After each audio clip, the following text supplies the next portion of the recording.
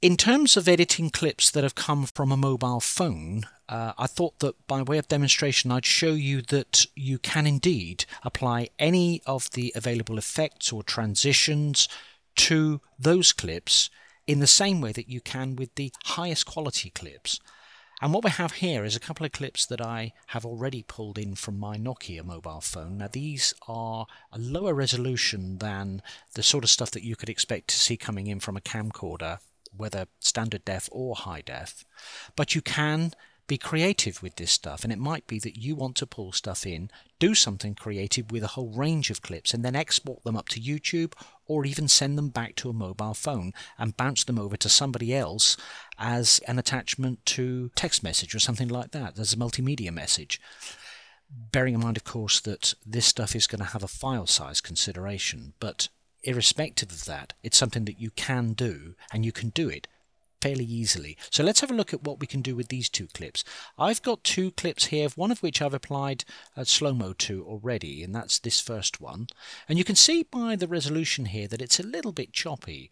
The clips are relatively small in size, and I've applied them direct from the import to the timeline in their original format, which is MPEG 4.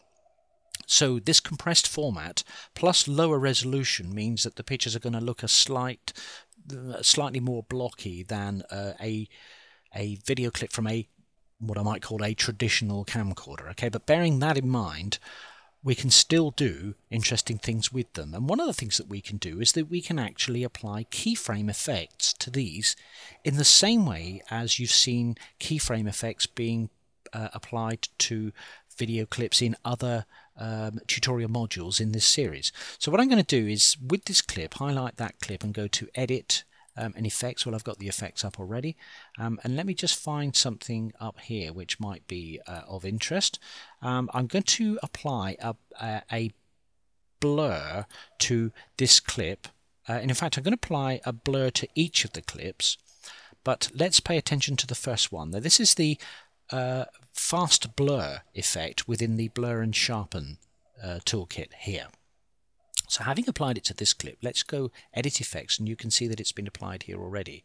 Now I've already moved, but it's still there. So obviously we can soften that up by merely putting a, a transition in. And obviously the most appropriate transition in that situation would be our good old favorite, the cross dissolve. Now you can see that by uh, applying the cross dissolve onto the, the cut, it will now apply to the right hand side of the cut and the reason for that is that the clip on the left has had some modification work done to it. So what I need to do is to right click on that show properties and come up here and say center at cut.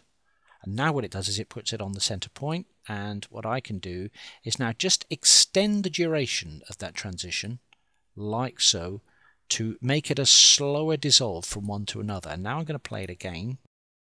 Here we go. Plays down into the dissolve, over the blur, and then into the next shot. And we can't see anything. So that's the effect of putting a transition over a blur and then an unblur transition on the end and the beginning of two consecutive shots. And all that's been done with a couple of clips that were shot with a mobile phone.